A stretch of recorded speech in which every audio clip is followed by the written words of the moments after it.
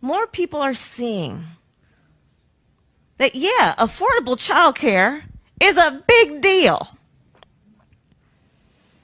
More parents are seeing the value of educators when they had to bring their kids and said, We're not paying them nearly enough.